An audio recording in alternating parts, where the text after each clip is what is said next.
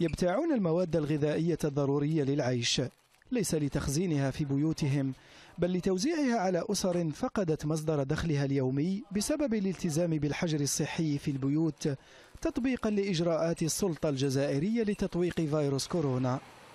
إحنا إن شاء الله كمجتمع مدني وكجمعيات رانا مع الدولة تاعنا نحاولوا نقصوا الضغط لأنه الضغط هذا كبير.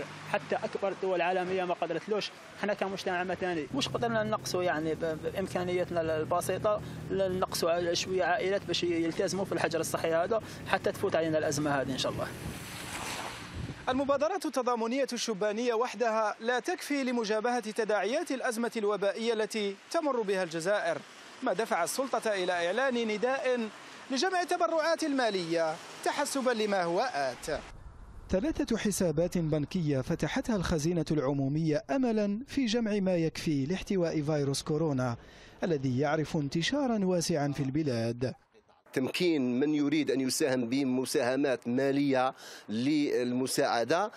هو ليس تعبيرا عن عجز الدولة من الناحية المالية ولكن هو تمكين المجتمع ليساهم ويقف مع دولته في هذا الظرف الحساس.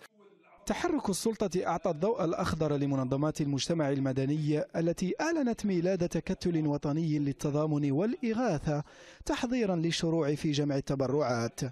في فقراء ومساكين. بل حتى الذين كانوا يعملون اليوم سيصبح ليس لهم دخل.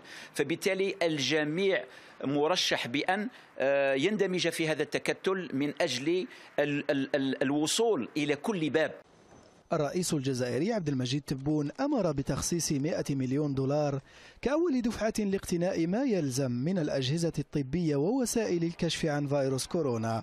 فيما أعلن رجال أعمال دعمهم لوزارة الصحة بمعدات من أجل مواجهة الوباء. عبد القادر خربوش العربية الجزائر.